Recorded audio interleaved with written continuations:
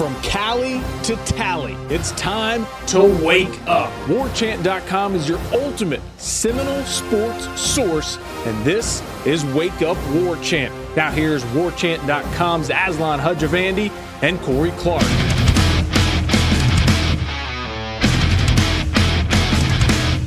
Wake up!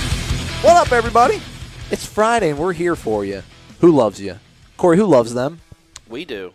They're daddies. Let's wake up War Chant. He's Corey Clark. I'm Aslan Hudjavandi. You already know that. It's said in the intro. Join warchant.com if you're not already a member. Use the promo code WarChant30.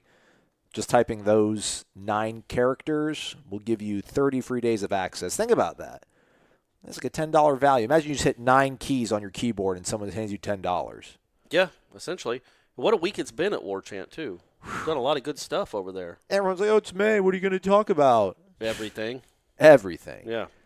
Got Ira and Amelia Island. Yeah, he's over there. Got uh, got you doing all your video stuff and this and uh, the podcasting and uh, you we- talking to, to me, me, uh, the we- next baseball coach at Florida State University. Or perhaps we uh, we as people that are clicking on this know by the description, we talked to Lonni Alameda. We did. The for a long time. That's a that was a hour long. That was like a Marc Maron podcast. Uh, that was an hour long interview with her, which I thought was really good. Um, but yeah, we got that. We got uh, Stan Jones in a long, just as long interview with Stan Jones, assistant uh, Florida State men's basketball coach. That's on the site too. Is it? You should probably wait to drop that, man. What? Well, no, because we he he was just elected to the, or inducted into that Hall of Fame. That was last week. We want to get it out there. Um, so yeah, we put it up this week. So there's a link to the to the whole interview there. So yeah, man, we're we're crushing it. Okay. Okay. As Corey and said, plus Ira up in Amelia. I think I said it already, but Amelia Island doing all the all the actual writing. he misses you, Ira. You hear I that? do, buddy. I do. He misses you. But as Corey said, and the item description says as well, uh, this episode there's going to be no football, um, no baseball, no tiddlywinks, just simply 55 good minutes with the head coach of the defending national champion softball program that resides in Tallahassee, Florida. I could have sat there for another 30 minutes, hour, but she's got her own podcast to do, so we kind of had to let her go live her life. Plus, she's getting ready for the big game uh, today, later today, 2:15, I think, against Bethune Cookman. Yeah. the regional here in Tallahassee, softball regional. Well, whatever. It'd be like 30 minutes after the South Florida South Carolina game, I guess. Is Okay. When they would play. Okay, yeah, as Corey just revealed, those are the other two teams in the region. Winner of this region would host the winner out of the Oklahoma State Stillwater Regional. So if Florida State wins, they would, you know, apparently Oklahoma State's got some sort of uh, virtuoso bat flipper on their team. Yeah. Did so you did you look her up? I didn't. I haven't her looked her up yet, but Okay. uh, yeah, apparently it's uh, taking the softball world by storm. Maybe uh, it would be kind of neat to. Now I know Florida State won't do it. That's not kind of how they play. Plus, they hit a ton of home runs. Yeah, they act, too much time. act like you've been there before. You know what I mean? Just lay the bat down because this is what you do. That's But what, uh, that's what they do. yeah, so that's who they'd play as the winner of the uh, Oklahoma State regional in the in the supers. So they're not matched up with LSU or another SEC team for the first time in a long time. I think. We'll see how it goes. Anyhow, without further ado, uh, do subscribe to the podcast, unsubscribe, resubscribe, rate, review, tell a friend. And um, we'll catch up with you all next week. But now, here we go. Uh, Lonni Almeida, Alameda. Did I say it right? Wrong? I screwed up this whole interview that's coming up, but Corey redeems it per usual. He's Corey Maslon. Enjoy this interview. Florida State's defending national champion softball program. Coach, thanks for joining us. How are you today? I love having you guys here at the Plex. We call it the Plex. Plex? It's a cool place. You're on site at the Plex. Yes. A lot of trophies around this part of campus too, with you and what Mark is doing at soccer. It's uh, it's a yeah. nice competi- healthy competition between the two programs. We have the Heisman House. We have the Plex House, right? Yeah. All the Yeah. hardware and yeah. No, I you know I mean Coach Krikorian's been awesome um, from day one. When we expanded this building, him and I were in that little office area together for a year, and then I shared his soccer press box for a year, and he's been it's like family. It's pretty awesome. So yeah. It's always, you know, sorry to take over the Go, go, interview, Do it, do it. Aslan. I, I ruined. I, I ruined it from the beginning. You But take it over now. you did. Yeah, that was a great start. So uh, I've kind of always, with Florida State in particular, the the attention th- that they give to the quote unquote non revenue sports, the, the the not football and basketball. Yep. Um, how important is that for the development of a, of a uh, a sport like softball or soccer, where they do take it so seriously, and it does seem like a family in the sense that you guys all really do cheer for each other. Yeah, definitely. Um, I mean, you feel that from the day you walk on campus. Just, I think Tallahassee in general, but Florida State too, the family atmosphere. Sure. It's definitely unique and different here. And, um, you know, I, I kind of, I, I don't know. You know, you're a football school. Like when I came here 11 years ago, you know that. You hear the story programs, but you don't ever feel it. You don't ever feel like you're second fiddle, stepchild, none of that stuff. Um, you are part of the family from the get go. They take care of you in every realm that they can, and so it's uh, it just sets the standard. And we've always talked about success breeds success.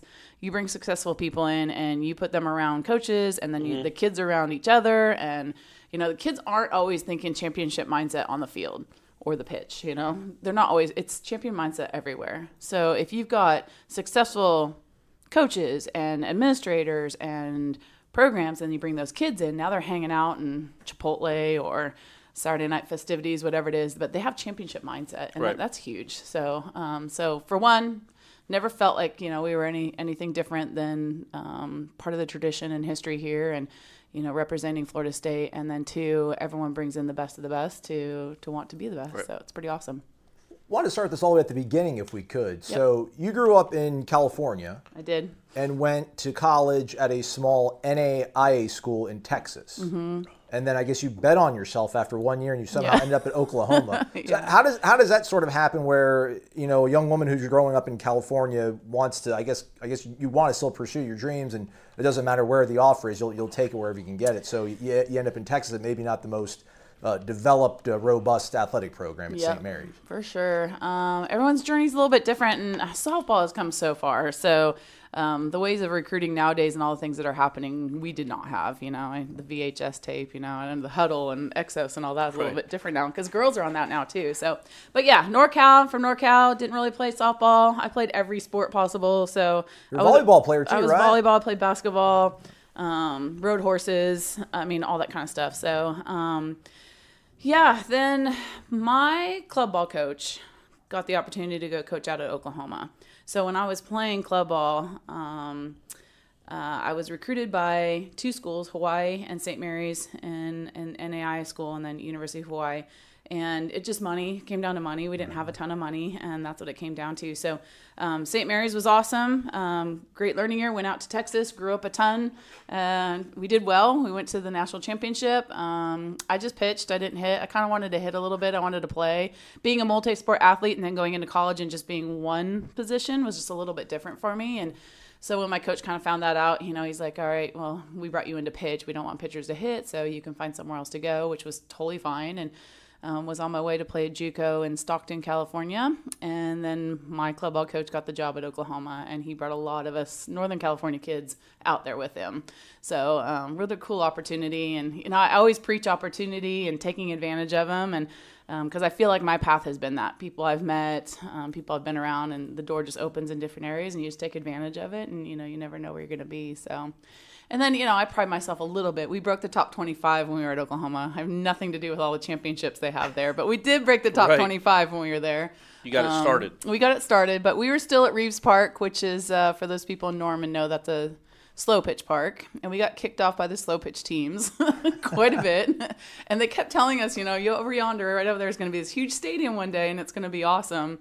Um, but we never saw that in our time. But uh, we definitely know, and now being in the college, you know, growth and everything, the the industry part of it, um, we were a little part of that. We were pushing that a little bit and did some good things. So So, you, guys used to practice at a public park yep, where you didn't even get to reserve a time? nope. Oh, that's fun. Yep, So, so the sports come a bit a, a my bit of a ways, huh? Even at Stanford when I was coaching there, we were at a slow pitch field there, and I was telling jokes the other day with Jenny Dalton Hill, and we were talking about um, I would have to go out early to the slow pitch field. It was across in the Stanford Mall, and um, there would be bums hanging around because it was right by the train tracks, and I'd have to make sure that the bums weren't around for the, the players, you know. And we bought a tarp. We got a tarp, and I came out one day, and it was like etched all the way around. He just cut right around home plate, and I went to find it, and he made himself a little tent by the train tracks. Smart bum, you Yeah, know, sure, smart. Like, why sure. wouldn't you do that? But on the other side, I'm like, man, we're Division One. What's going on? You know, so just good stories, and um, I'm so thankful to be a part of that growth of it. And I try to remind the kids I don't want to be the coach that's like I walked through snow and uphill and all that, but I do want to ground them to know how far we've come and how grateful we are for everything that we have here and the sport of softball. Right. So you're at Stanford for quite a while as an assistant coach. Yep. Uh, then you get a head coaching job at UNLV. For you, was it ever one of those things where you were hoping to leave Stanford for like this the, the ultimate destination job somewhere like Florida State, or did, did you know you probably had to maybe go to somewhere like UNLV or a Mount West school to, to you know quote prove your, your sort of value to, to other programs? Yeah, um, well, probably my last. So I was there ten years, and probably about seven years in, I was getting actual interviews. So I interviewed at Notre Dame, Tennessee, LSU.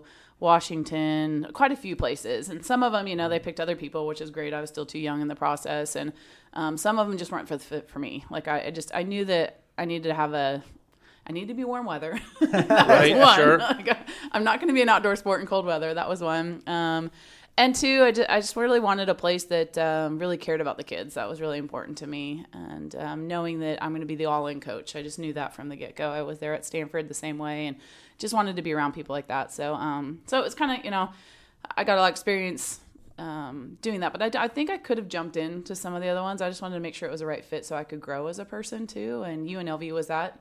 Um, they just needed a little bit of energy and juiced into the program. It was close to my family still out on the West Coast, so it was a good time for me to jump out there and see what I could do. And you know, spent an amazing five years there. And uh, and truly, when Florida State came calling, I was I was in Canada and we were getting ready to go to Japan to train for the Olympics with um, the Canadian national team. So it really wasn't the timing or the fit.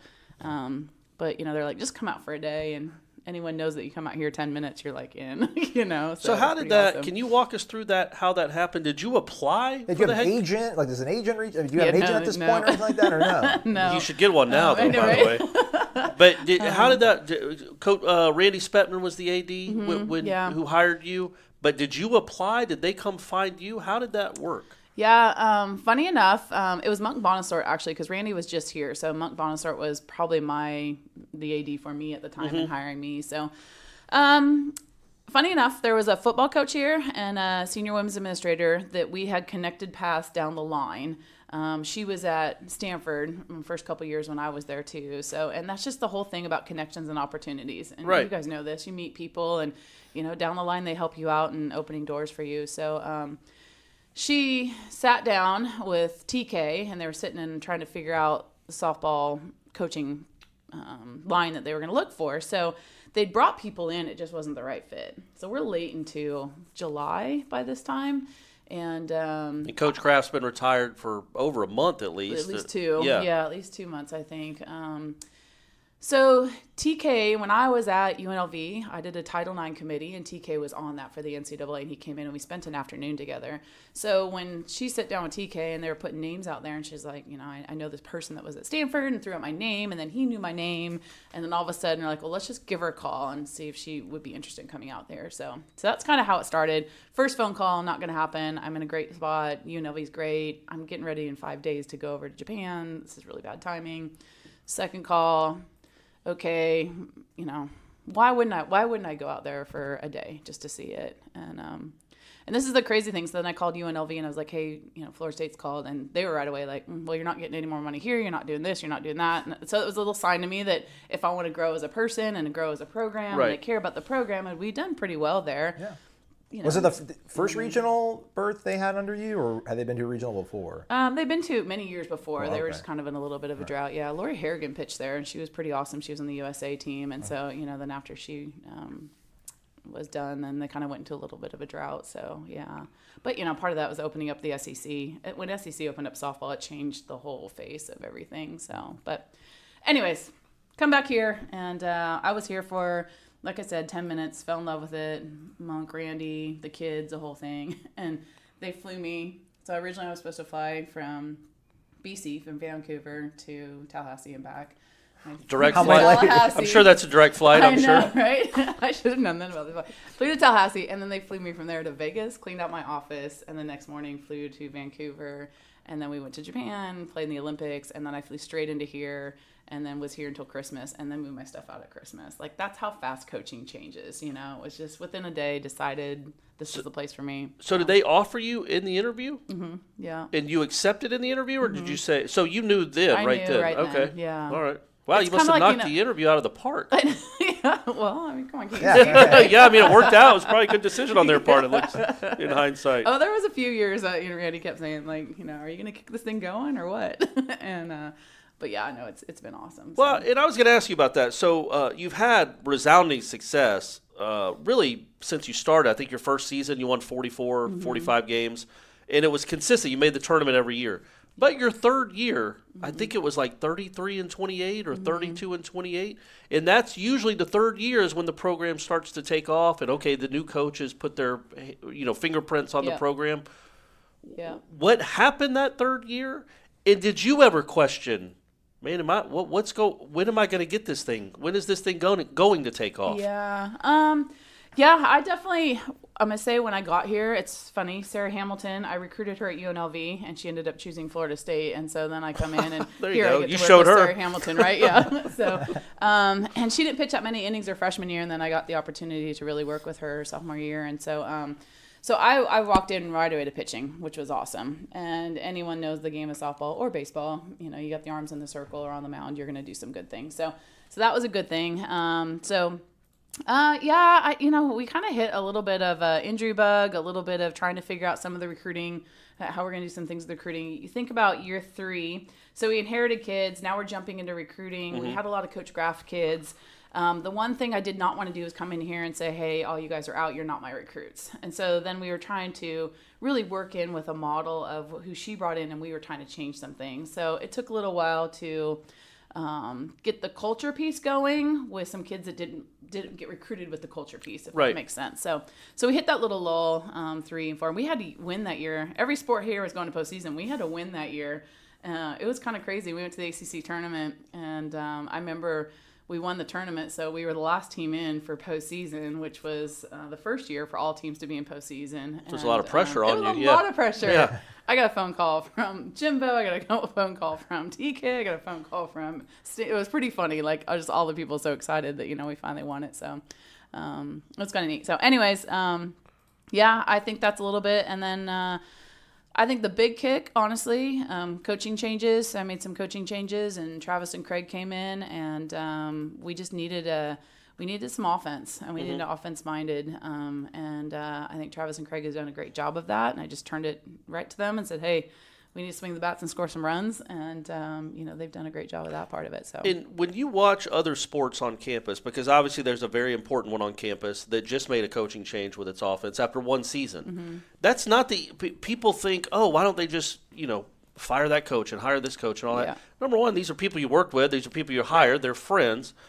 So at what point, as a coach, as somebody that's uh, uh, you know it's your program, your this is all yours. Yeah. Do you say, you know what, as hard as painful as this is going to be, I have to make change. I have to look in the mirror and say, you know what, maybe these weren't the best hires, and I have to admit that and go make changes. And how hard is that? Yeah, um, it's really hard because when you're coaching together, you're almost in a, a job relationship. You know, I mean, it, it's uh, you're you're spending a lot of time together, and when you're talking sport too, you're going emotional highs and lows also, and so you're really in the the bunker with your coaching staff, and so that's really that's tough. But you also know as a coaching or in the coaching realm that there's success and there's failure and if you're failing you're going to get fired. You know Mm-hmm. that getting in. So you, i don't think you'd want to get into a job or a position that was okay with you not doing well. Right. that'd just be like playing you know coming into being a player and the coach doesn't push you to be the best you can be. So it's kind of the same mindset. So i think uh, conversations when um, my, the, the previous angel and sarah moved on and angel wouldn't be a head coach. That's what he wanted to do anyway. So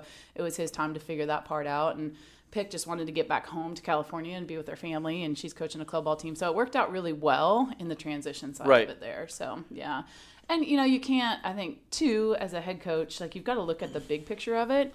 So as you're getting feedback and you're starting to see the numbers, you take the personality part out of it. And if it's not transitioning on the field, then you just need to make changes Sure. for the best of the program. So yeah. Did, and you mentioned Randy saying, I don't know if it was an offhanded comment or if he really meant it, like, are you ever going to turn this program around Yeah. or whatever he might have said. Did you ever feel external pressure?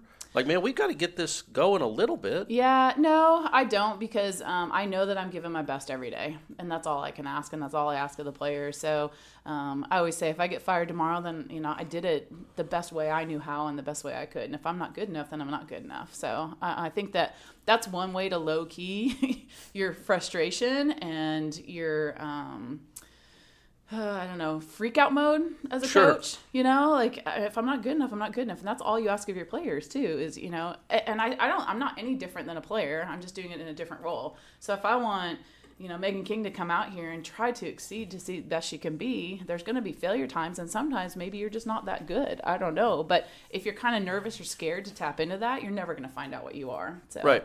I think that's the same with coaching. Yeah. Florida State softball head coach Lonni Alameda joining us here on Wake Up War Chant.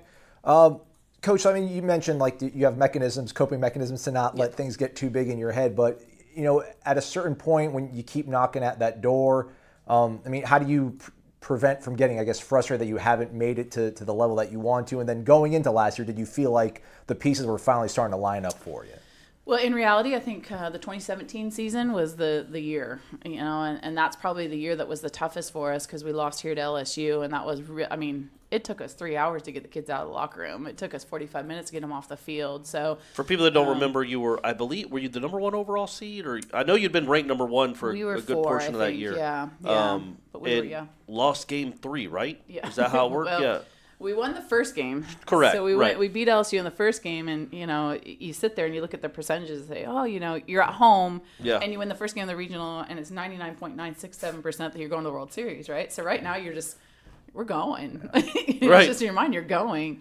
Um, and then we had. Uh, Alex Powers would have been a senior on that team, one, right? Yeah, Ellie Cooper and Jessica Burroughs, and so we had a tough game too. Um, I think maybe a one or two hitter. It was a really close ball game, and then we get to the game three, and it was a dogfight, and we had chances. They, you know, they had chances. They capitalized on some things, and we just ran out of some go-go juice, and we lost the game. And then we're not going to the World Series, and they're jumping out on the field, and um, it just it went from it's so fast within 24 to 40 hours you know you're, you're at a high like oh awesome we got game one it's in our pocket too.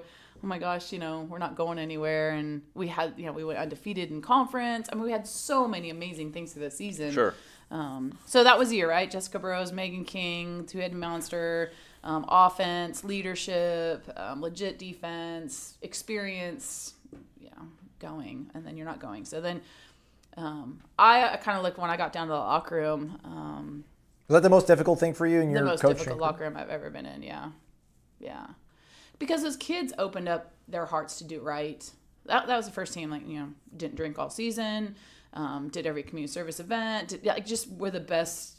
I mean, you're talking about you know just committing to being the best they could be at all levels going to bed at night at 10 drinking you know water every day like you know i mean just Yeah. all the things and i know people are going to joke about this and be like are you kidding me right now but you're talking about college kids Sure, of course. college kids, you know, making a commitment to doing every single thing. And I'm not just saying 18 of them, it was all 22 of them. They were all in. And now, and what do you say as a coach all the time? You're like, hey, like, you know, be all in and you're going to get this. If you do this, you're going to get this. And all of a sudden you get there and you don't get it. So then I'm standing in front of them saying, well, thanks for doing that. And, you know, you, Enjoy the summer. you don't, yeah, right? Like, yeah. And uh, so I equated it a little to like relationship. Like they were all in and, um, you know, And they had their heart broken. their heart is broken and they were broken. But on the other side of it, how amazing for them that they have that experience because there's not many people in life that allow themselves to be that vulnerable and work that hard for something. And you will have that for the rest of your life. And so um, so i was just really proud of them for that you know but it was i mean i, I don't think anyone could get a sentence out down there. Uh, it was tough. And um, like i said our, our seniors it took them three hours before they got out of there and took that jersey off because that's how much it means to them. So but then you have those juniors that saw that in that locker room and felt that in that locker room. And there wasn't a more driven group that summer to be in shape and be ready to go than it was Jesse and Callie and Carson and those kids. And so when we got to the the next year, we as a coaching staff wanted to have a little more fun. We were driven that year to be the best we could be in everything, and we stopped laughing at little things and having some fun. So we as a coaching staff, hey, we get to 2018, let's have some fun. You know, we asked the team to lay it out there and do everything possible the year before. You know, let's just enjoy it this year. And then here we are in 2018. And I remember Coach Krikorian coming in this room here, and he said, you know, sometimes it's not the team that you think is going to win the title. You know, it may be a completely different one. And that was the same thing. We thought 2017 had a chance, and then 2018, you know, won it. So it's pretty cool. Well, and there was some poetry in the sense that it was LSU again in the Super Regional, right? Yes. And Yeah. then you lose the first game. Yes.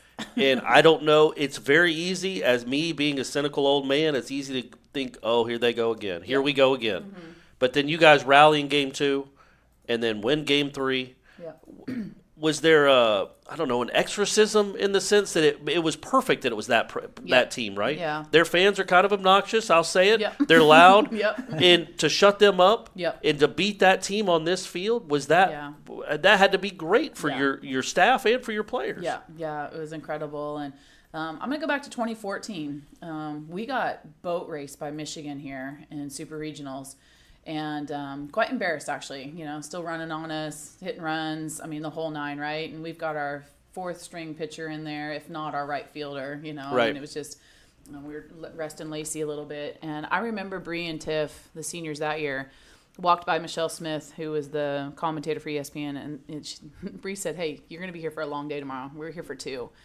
And we didn't say anything to the team at that point because our seniors were already talking about a doubleheader the next day, and then we won that, went to the World Series for the first time. So and she hit the walk off that almost hit the parking uh, garage right Courtney Senas Yeah, hit the walk off. Yeah, moly. her Hawaiian. Yeah, but Yeah. you know, I mean, right there when your players are speaking that, you don't have to say a word because in their mind they're ready for. it.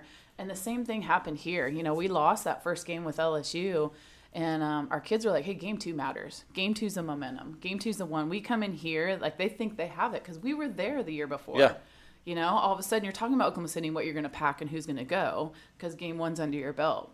Game two is the deciding factor because now you got momentum. You win game two, now you're going into game three. You know, so um, so huge lesson for us that all of them were talking. Like we didn't have to say that; they knew that right away. Just keep throwing punches. We win game two, we roll right into game three with the momentum our side versus the now defending it. Like oh Right. gosh, we you know, and so.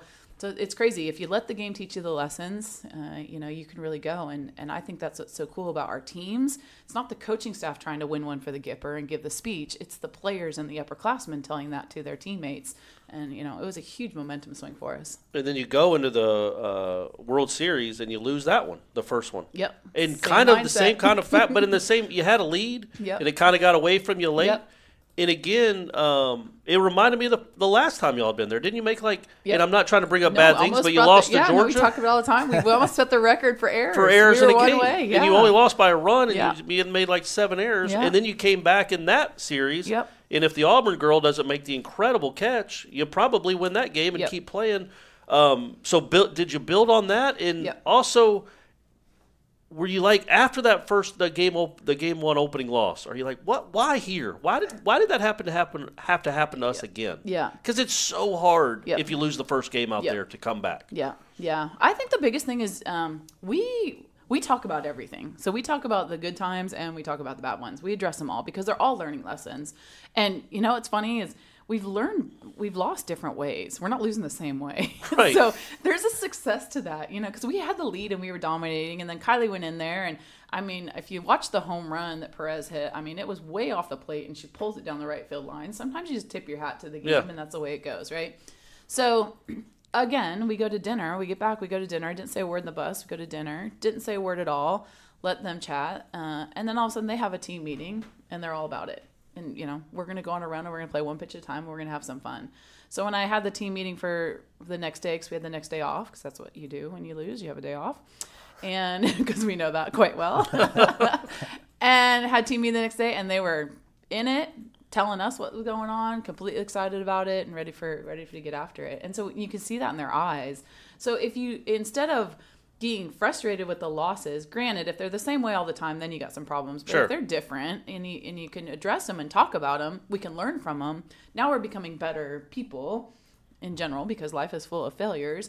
And then two, now we have a game plan for what we want to do as we move forward. And so, um, and they they were on fire Uh, every pitch. It didn't matter what the scoreboard said. Every pitch they were on fire. And they, I mean, Travis Craig and I just sat back and they went after it. It was pretty awesome. They were telling us what they were doing, and it was pretty cool. That's kind of when you know what you've established as a program, right? Yep. As a culture. I, I can't even imagine what that's like as a head coach Yep. to see the ownership of the players you've recruited and developed Yep. making it their program. Yep.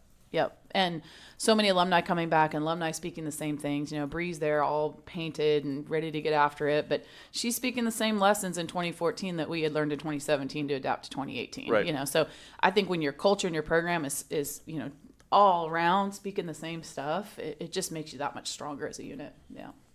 Do you ever let yourself believe at any point during the run that it's going to happen, or do you not I mean, start counting your chickens before they're hatched. I mean, did, was there a certain point where you felt like this is just like the, the destiny of this team and your career?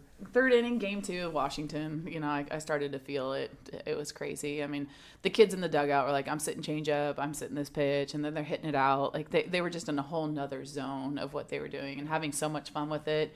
Jesse on the bunt, I mean, she was reading feet and hands, uh, you know, and they're talking to each other.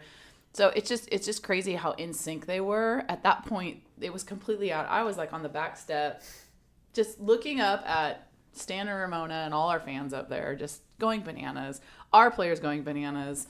Um, I could see the tension with Washington, and I know what that's like. You know, you're, you're like, oh, you just you see momentum. You know, we call it Uncle Mo, right? Literally sitting in this dugout cheering with this team. I mean, it was just crazy how much momentum was rolling with us. And at that point, no point during the whole time did I even think that you know it was just about the next pitch, but definitely about the third inning it was pretty it was pretty awesome so anyone of we dropped i don't know if you guys remember we dropped a pop-up between center field sid and mo dropped a pop-up jesse comes up throws a ball down the right field line Yeah.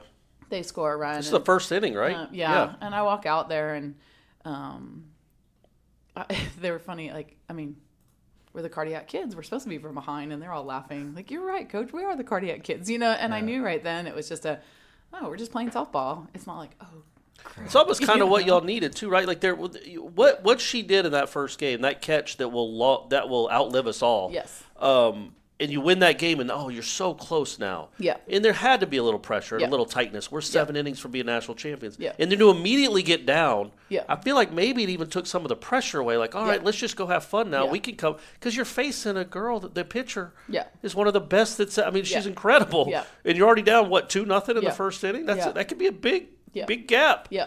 So yeah. did that? Do you think that helped, like getting down early? Yeah, I, well, I think just the, their approach to it, and you know, it'd be the ACC tournament. We were down, we won the walk off. Yeah. Like we just been, we had been in that corner and rope a doped for a while, and we were able to get out of all of them. So it was just a matter of taking punches, throwing punches, taking punches, and just not get knocked out. And that was kind of the mindset: is just you know, keep throwing them, keep throwing them, keep throwing them, you know, and, and whatever happens. So you're going to get a few punches here and there, and yeah, they they took that mantra. So I, I think the cardiac kids was was there since the ACC tournament, but they took that mantra. Right. You know, it's like, I mean, everyone's going to be like, oh gosh, what's next? you know, and uh, they, they embraced it. It-. Before we get into to this season, which obviously is still going, and you still have a lot of goals out there to accomplish.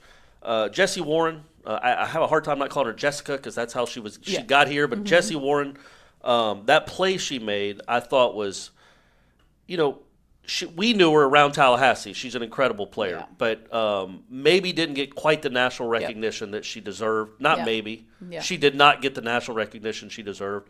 How awesome was I, I don't know how many times you've watched that play. I've probably seen it 15 or 20. Yeah. It's just incredible. Yeah. But how how gratifying was it to see her do that on that stage? Not just that play, which is an all timer, Yeah. but the way she hit out there. Yeah. Just how much fun was that to watch her Yeah. Become kind of the face of that team Yeah. in that championship? Yeah, yeah. Um, I. So as a coach, you become almost a surrogate parent a little bit too, and uh, I think I was. I mean, you've seen it. We've all seen it. She she plays at a high level. She always has. They had 38 cameras on her there. We have one here. So the one camera we get in the angle we get. I mean, we got to see that stuff every single day. Sure. But I'm gonna tell you the one thing I was probably most proud of is her interview after the game and just her composure and her love for what she's done and Florida State and you know just like I I've probably played that just as much as I played the catch because I remember the first day I put her at third base and she cried because she didn't think she could play third base. What did she want to play? Um, she well, she was always a shortstop. Oh, okay, you know, gotcha. Third base in the game of fast pitch is Right. It's a little, it's a hot corner for a reason, you know. And um, but it wasn't that. It was just because she didn't have the self confidence in what she could do. And so from her growth and the self confidence of who Jessie Warren is and what Jessie Warren does, kind of you know was all in that play and all in that moment. So I, I'm so proud and so happy that the world got to see softball to high. She's a smart, smart player. You mm-hmm. know, got to see that. But then they also got to see that with a conversation afterwards that totally gets it, that appreciates growth and appreciates everything that that college softball or college athletics is. And I think sometimes that's such a good message is you want to see players compete at a high level with their athleticism, but you want to see them match that with the grateful opportunities they've had and be able to move on. Right. Because uh, she was finally be able to be on a stage that she's impacting so many younger kids future Seminoles, boosters, alumni, and I I just think that was probably one of the more proud moments as a coaching staff that we had. Yeah. This season, shall we then talk Let's about do this it. season? Yeah. It's always weird, you know, because I remember taking summer classes here back when I did undergrad, and obviously, you know, it, it's it's a lot more quiet on campus because there's not as many students. But I feel like the postseason ramps up such it, it gets amplified, like Yep. especially like around the baseball team. You know, back in my day, that, that's what everything was kind of soaring. Is there a different feel now? I mean, even more so with the fact that you have to. Is it a defending national champion mindset for you, or is it is it a new season or a new sort of uh, Yeah. journey that starts when you guys host Bethune on on was it Friday? You guys are gonna start off Yep, with? Friday at two thirty. Um, yeah, we. Um, ah, gosh, I think Syracuse. It started becoming Team Thirty Six. Honestly, it took us that long to figure it out because when we came back, here we have eight new kids. We're still celebrating a championship. You know, we go out to the Virginia Tech football game and we're being honored, which was incredible. But then I got my Best part of the game. stepchild. Yeah, that was the best part of the game. yeah, but just the atmosphere, and you could tell everybody knew about softball, which it hasn't been the case in the past. And you know, but I got you got your eight kids kind of on the back line walking up, you know, like hi, I'm here, you know, Yeah.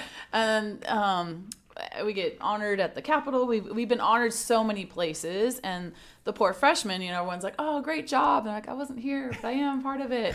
And uh, I tried to keep recognizing that, but didn't want to take away the excitement of it. Um, then you get to the beginning of the season, everyone's like defend the title, and people are sending out pictures of the last year's team with schedules, and you know, so it's not this year's faces of freshmen, and so it, it was a little bit tough in that sense, you know. And, and I addressed it with them, like, "Hey guys, like, you know, this is why you came here. This is what we want to do. So we want to embrace all this amazing um, accolades and um, I guess the platform that we have to meet people, but want to make sure you feel a part of it also. So, anyways, I think we got to Syracuse. Whether it was we're done with school and all I have to do is worry about is being a, a softball player right now, but um, really started to come together as a team. You could see the freshmen really comfortable. Everyone's one unit. And there is no defending a title right now. It's about going after something this year. And uh, I've definitely felt that. The ACC um, tournament here was, was a feeling of postseason.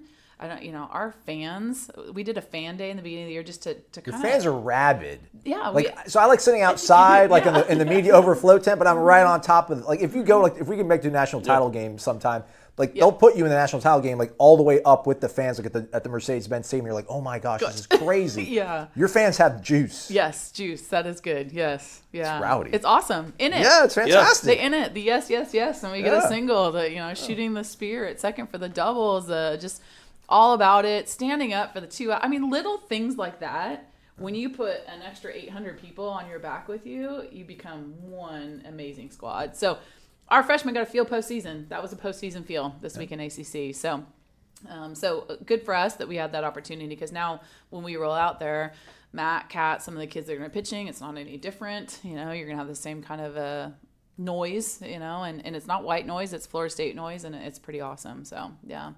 So I'm excited to move forward. I think we're in a really good spot. What was the challenge of you know when you win the national championship, man? The target gets really big, Yeah. and especially your schedule early. It's a lot of teams that you played that were really good, Yep. um, and you did well. You navigated that obviously very well. But is there a uh, how? What's the challenge being a coach of a program that just won a national championship?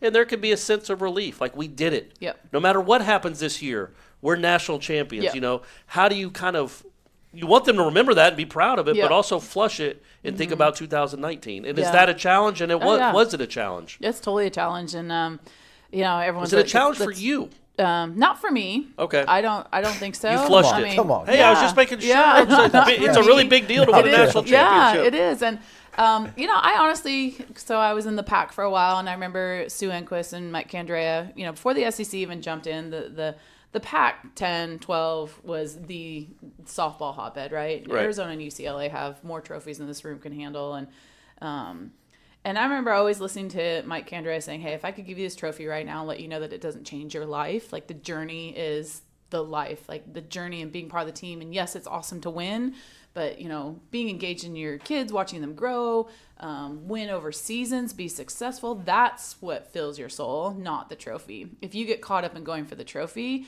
then you're going to lose that moments, moments, moments, lots of them, right? Of enjoying what you're doing. And I've always remembered that, you know, because um, it was just a, kind of a big message for me because I do love being around the kids and watch the growth. I want to win. I'm very competitive and I want to win. But again, if you don't don't enjoy where you're at right now, you're going to get that trophy and have missed all the relationships and all the growth moments and maybe the continued success over time because you're just hunting for the trophy. Right. You know, so um, remember that. So, anyways, probably had one of the most fun seasons last year that we've ever had. But to sit there in the third inning and see the team have ownership, like you said, watch the team have ownership, watch the kids interview after, watch them completely enjoy the whole journey of it. That wasn't trophy chasing. That was actually playing softball at a high level. So I think that's the goal for me is to, to have kids play at a high level and experience giving themselves to something bigger than them. And if you can get people to do that in general, like you're tapping into a passion in your life that's going Right. to be amazing down the line. So that that's my end goal. Um, And you won 51 games this year already. Yeah. Um, so it's it's obviously you're obviously doing well on the Right. diamond. But were there times when it was a bit of a struggle? Oh, to, Oh, yeah, yeah, this year. Focus up. Well, you know, we come out, we go down to, you know, we're undefeated going down to Clearwater, and we're playing some beasts down there, and then we knocked the socks off of it and hit home runs left and right, and Yeah. so, you know, I mean, just so now all of a sudden you've got, hey, win it again, win it again. You got people that never even watched softball that now, you know, Florida State fans are like, yeah, let's go for the They're going to go trophy," and- undefeated. yeah, totally. and that was the talk then, right? Now defending the town, and we're undefeated, and we're number one, and we're doing this, and I'm like, oh my gosh, you know, at some point we're gonna lose games. At some point we're gonna go into a drought hitting. At some point we're gonna make a lot of errors, like it happens during a Sure. 70 game season. But now we're getting a lot more pub and a lot more following. So now when the, when we start to fall a little bit, it's going to be big time. So we just kept addressing it. You know, we're undefeated, and the kids are excited about undefeated season. Could we be undefeated? And I'm like, hey, at some point, at some point, we're gonna fall. At some point, we're gonna get beat. At some point, you know, and like we've got to continue to stay grounded where we're at. And the hit came, and we lost to Louisville, and we lost to UNC, um, and we weren't hitting, and you know, but we could go back on conversations we've been having the whole time. And so, outside noise is great. Fans are fans for a reason. Right. But really, where we're at when we meet as a team in the room, these 25 people is all that matters, and that's what we kind of have to keep grounded to. So, and I always answer when I was like, "Win another one, coach." I'm like, "Yeah, it only took 25 years. I got the, I've got it right now. I know exactly how to win it. I mean, it, it's just, it's kind of fun, but that's what fans do." Do you know how many home runs your team has hit this year off the top of your head? Oh gosh, I don't know, 80, 94. 94. Yeah, I was gonna say 94. 94. 94, yeah, And your opponents have hit 24. Nice. You have a gap of 70 home runs. Look, you obviously know more softball than anybody in this room by a Yeah. wide margin. That's not normal, is No. it? What is Yeah. going on with you guys with the home? How is this happening? Your Uh, whole you- team, you you'd have have eight. to have Travis and Craig in here swinging, talking that one, but uh, I'm gonna go with experience. Experience is huge. but are you recruiting different? Is it? Is I mean, I know it's development too, Yeah. but are you recruiting types of players that you know can develop this kind of ridiculous power?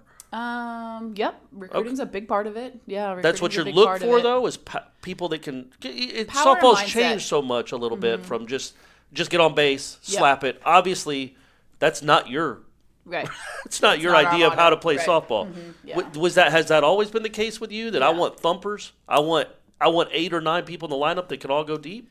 Um, can go deep and can run. Okay, We sure. want athletic kids. Yeah. So um, I'm gonna say six years ago, Travis Craig and I sat in this room and said, okay, what's a Florida State style player? Like, what do we recruit? How can we identify? So when people come to us or we get out looking at people, we can walk by kids because they're not exactly a Florida State style player, and we had to get on page with that.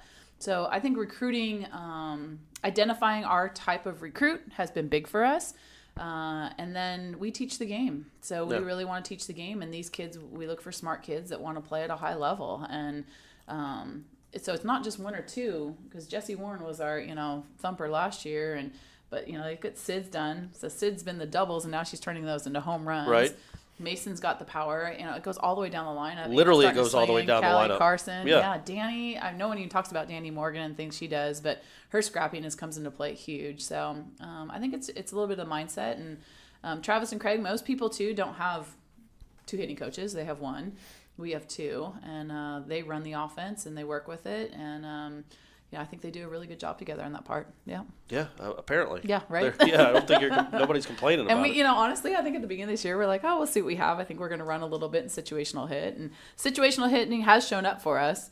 But then all of a sudden, the big swing comes into play too. Well, it started early. Yeah. I mean, that first tournament against all those great teams, Yeah. it's like, oh, good, they hit three more home runs. Yeah, yeah, yeah.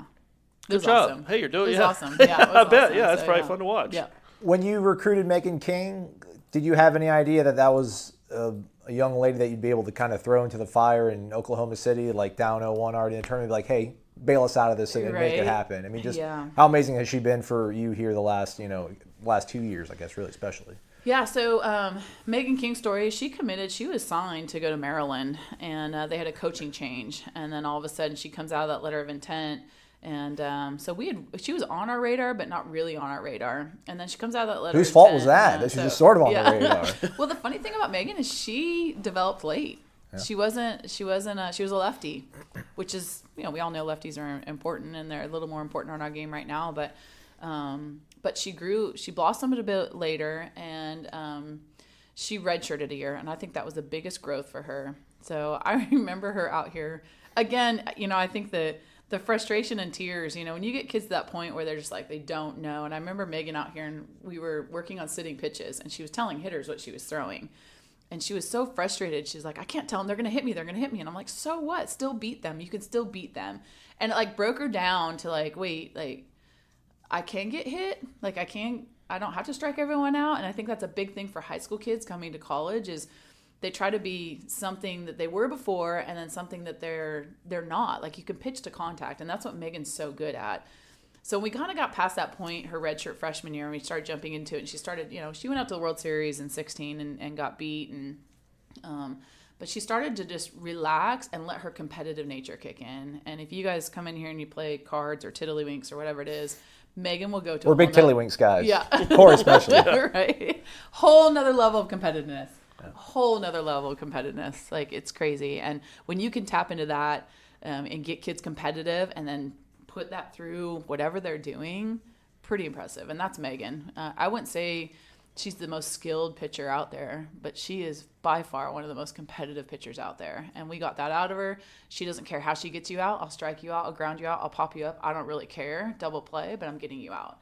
And uh, and I just I'm. It's been so cool to see her go. And in postseason, the most competitive time of the year is when she shows up. And she's been in so many postseason games for us, competing. Her experience now is is pretty comfortable in that environment. But it feels like you've done a pretty good job managing your arms. To, that she's not the only person that, that's Yeah. going to be ready w- Yeah. once this ride really starts picking up steam. Yeah, I think I could have done a better job of it, honestly, at the beginning of the Ah, year. Um, yeah, well, I was actually going to say that. I'm Yeah, glad right? you said it. I was going to criticize you a lot for that. well, you know, you, look gotta develop reflection. Herzog a little Yes, quicker, yeah. exactly. I know. So looking back at it, but the problem was, is we got there, and now you're kind of hunting an RPI, and you're hunting a national Sure. seed. Especially early, right? Yes. Because of those teams. Yeah. Huge games, Yeah. huge games for this number four seed. And so that was the balance. We didn't really know what the ACC was going to bring us, and you can't run into conference and expect to get that respect for the RPI. So now we can we can hunt that a little bit, and if you're going to do that, you're going to do that with your experienced kid. And so, so uh, the balancing of that, I don't think I did a great job of it, but I feel like we've caught up a little bit. Um, getting Mac the start in the championship game was huge. You know, um, she started against Florida here too, so getting her those moments of being in a big environment was big for her. Kat's been great. So you know, we've got two freshmen that have been in some big moments that can do some things. And I expect they're going to be they're going to be big this weekend and next weekend down the line. Yeah. It Ooh, is- say next weekend. Yeah, Huh? Yeah, that's right. And the well, week- and the if week after that, down the the, week after that, you yeah. go. Yeah. How good is uh is Sydney? Sherrill. I mean, I, I- Yeah. she's she's what she's done so far in her career yeah. seems like she's kind of on a trajectory like some of the great ones you've had. Yeah. Yeah. Ball player. She's just Yeah. a ball player. You know, I think her and her father. Where's she I mean, from? She's from Oklahoma. That's what she Oklahoma. from? Is she mm-hmm. not Norman, but close or Well, Moore is like, you know, Right. just right there. yeah. she wanted to get away from home, I guess. Yeah. Or Um, yeah, she Okay. she wanted to get out a little bit, and um, she she originally committed to Arkansas, and then decommitted after a coaching change there too. And Man, we were that's recruiting really her. doing well and- for you. Yeah, right. Decommits. We did recruit her early though, and she chose Arkansas over us at a younger age. But I think that was a little bit because she's closer to home. Mm-hmm. You know, Arkansas and Oklahoma close to home, and mom and dad are like, "Are you kidding? Florida State's so far away." But I think for Sid, for a while there was like, "Oh, it's good that it's far away." Right. Um, but you know, her and her dad spent a lot of time together and grew, and um, she just she she's a ball player. You can put her anywhere, and she's going to make plays. I mean, she was great at second base for us last year. She's great at second and third for us this year. She played shortstop. I mean, she hits. I I mean, she's tough to beat hitting wise. Just tough to beat. Her, you know, she's got a great swing. Um, She's just really good at fighting off the end. And I don't know if you ever watch her battle. I mean, she'll flip the balls away. Uh, that's a really mature thing to do. Don't want that. Don't want that. Ooh, I'm going to get after that. You Right. know? And um, so her mindset is pretty awesome with that. Yeah. But amazing teammate. Oh, really? Oh my gosh, so much fun. Has so much fun on the field. Um, the kids love playing with her. You just love being around her. And That's so, good when one of your best players is like that, yes, right? Yeah, yeah. It doesn't speak up a ton because she, I don't. She really doesn't want that leadership role of like tuck your shirt in, be on time. She just wants to be Sid. Uh, and there's a big, big spot for that on a team. Be you know, be a really fun player that can play that people want to be around. Right. And, uh, Keeps it kind of that. loose a little bit too. Oh, totally Yeah. keeps it loose. Yeah, totally keeps it loose. She's she's awesome. So When did that Um, become important to you? To to be was it after 17, after LSU that like because it was noticeable how much fun you guys Yeah. were having, even in pressure moments. yeah. Has that has that always been something you've you believed in as a coach? Yeah. Mm-hmm. Or did okay, it has been. Why? Yeah. Did you have fun as a player, or were you tight as a player? Um, no, I had fun because you know I was able to play seven sports. you know, so well, sure, it's yeah. different. I, I feel like um, at Stanford when when we were at Stanford, we had to make it fun for those kids. They had they they had to be straight A's in school. They had to be you know the best on the field. They you know and. You got kids there that were so worried about how many bounces the ball would take and which way they would throw to. It was so analytical. Right. Like just pick up the ball and have some fun and throw someone out. Like you know, let's enjoy. It. So I, I think I got it from there. It's just to just to enjoy. And, And if you hit a bum on a bad throw, you hit a bum on a bad throw. You're right. I know. They're in the park. Um, so yeah, enjoy it, have some fun. Try to try to relax them a little bit, and it just it kind of went all the way through to Vegas into to here. And that's so that's a almost like a founding principle of how you want to run a program. Yep, for sure. Because you see it a lot with For some sure. in this in college. Well, all walks of life, but college baseball, college softball. Yeah. There are some like drill sergeants that Yeah. it just does not look like fun. Right. Is that a recruiting pitch too? Yeah. Do you Yeah. use that on recruit? Not maybe. Hey, don't go play for him because he's a maniac. Yeah. But we have fun here. Yeah. You will have fun here. Um, I, it's not a recruiting pitch because I think that when you walk into this place, just like I did when I came to visit, you're going to get a feel. Mm-hmm. We're going to be who we are all the time. So there's no red carpet. We're not going to tell you what our resume is. You should feel it and see it with our team. So I, think that would be our recruiting pitch. Is you know when you come around us, this is this is what you're going to get day in and day out. 6 a.m. workouts to three hour practices to a weekend series somewhere. We are who we are. So.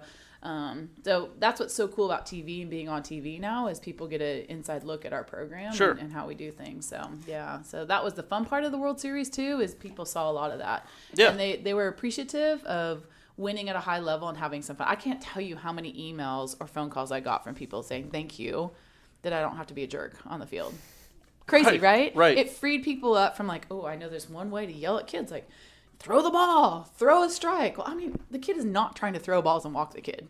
Like, they're not going out there. Let me walk the bases loaded and see how mad I can make my coach. Like no one's doing that, you know. But what do we do as coaches and parents? Like throw a strike, throw it over the plate. Are you kidding me? You know, bunt the ball. Like the kids aren't out there trying to do that.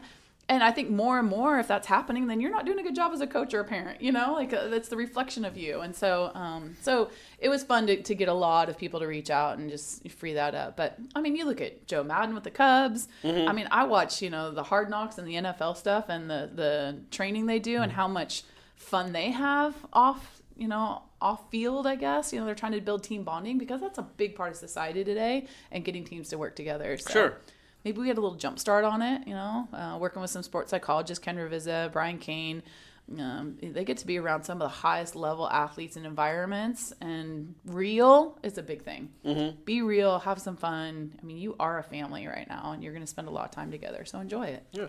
I guess you kind of answered it there. We'll, we'll land this plane. You got your own wildly popular podcast to, to, to record here. on Coaches and Coffee, the Florida State Softball Podcast. Check it out, boys and girls. Um, but but the cult, the culture aspect uh, is such an important deal now with sports. I think you know for me, I've always kind of had this archetype of coaches need to be these like really gruff drill sergeants. Yeah. But we're seeing more. Whether it's you or a guy like Dabo Swinney in football, it's just you know you can kind of put your arm around kids. How much of the culture aspect for you was something that you, you kind of had in mind, or are there things that coaches would tell you this is what you need to have to, to have a successful program, or is it stuff that you've just kind of pieced together over the years, or is it something that you've had for a long time that just just stayed steady and constant? Um, I think there's two answers to that. One is Um, I don't think I'm the same every year. I think um, we always try to go out as a staff and we reflect at the end of the season what was good, what was bad, what can we do different, and then during the summer try to um, tap into something else that can help us. So I know, like this last year, we were able to go to Jimmy John's headquarters and just tour behind the scenes. Why are you successful? I mean, it's a sandwich. How, how, how are you so successful? And just seeing how they interacted and the ownership. So, you know, they have, if you're an employee there, you clean the kitchen, you do things, you take ownership of your own area. It's not janitors that come in and do things. And I just, I thought that was so awesome. And we have a leadership group and let's clean our own dugout. Let's do our own thing. Let's, let's take ownership of our place and appreciate it, you know? So it's like you try to learn things as you go along the way to keep growing as a, as a person. So, um, but then the other part of it is, and I learned at a young age, is kids will see right through you. The minute you're trying to be a coach, um, and not be the person, they're to see right through you. So if I try to leave here at five o'clock and go be Lonni the rest of the night, like that's to be really hard to, to be Coach Alameda here.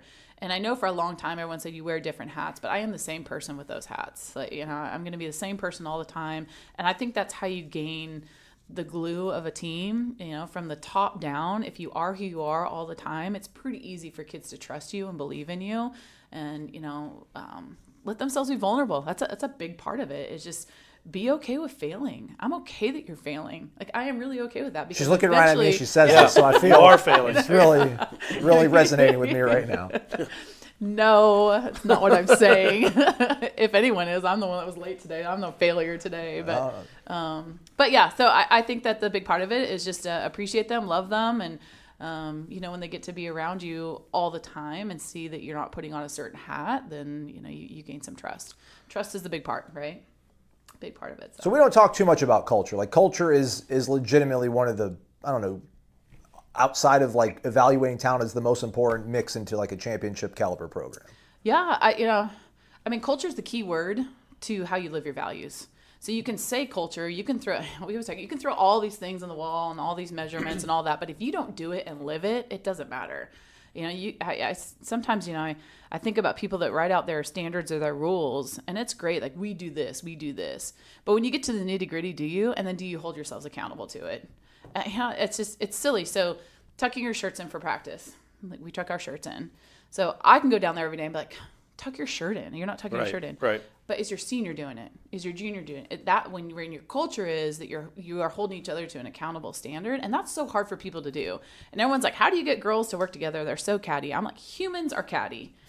humans are tough, right? yeah, right? It's not yeah. a girl or guy right. thing. It's the ability to walk up to someone and say, "Hey, you're not living the standards." That's culture. So it's a word that you can throw out there, but if you're living those values that you guys believe in and you bought into and you're all in for it, then it's not hard. Like, oh yeah, you're right. Tuck my shirt in. You know, quit being a jerk right now. You're over for it. Who cares? Like, quit being a jerk. I need you on the field.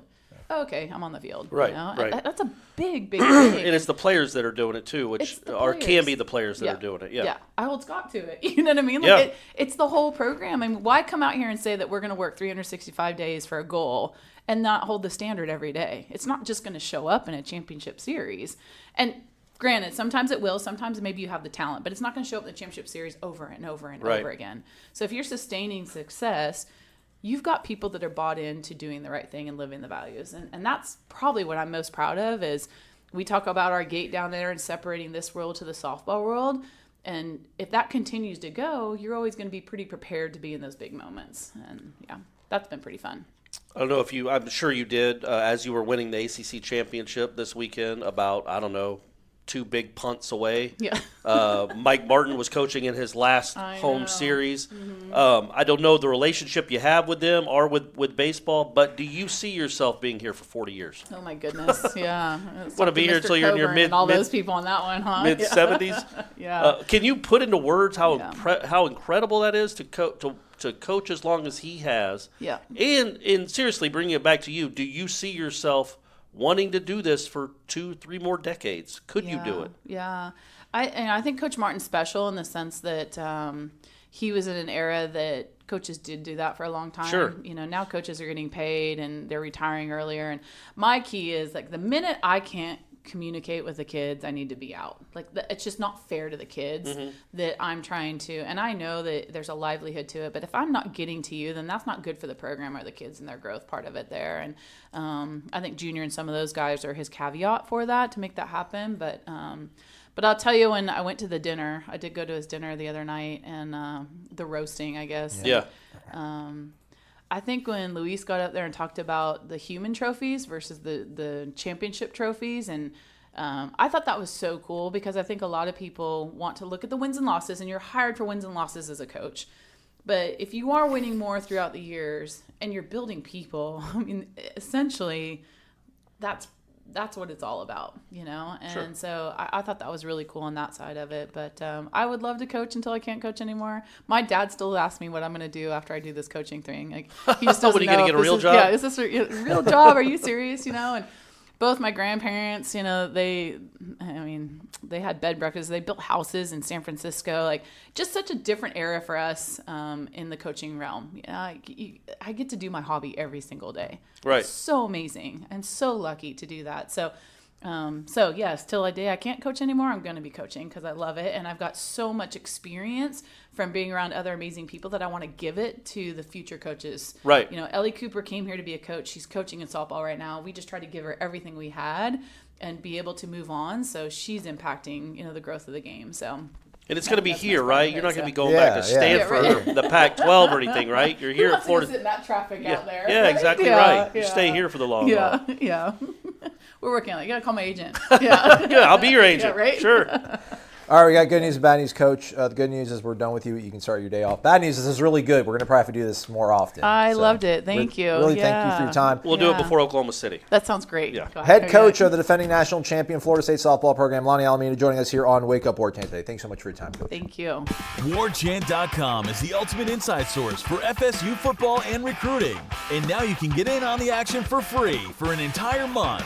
WarChant.com is offering a risk-free 30-day trial subscription. Get full access to the number one website covering the Seminoles just by entering the promo code WarChant30. That's WarChant30. Sign up and get in on the world's most active FSU message boards.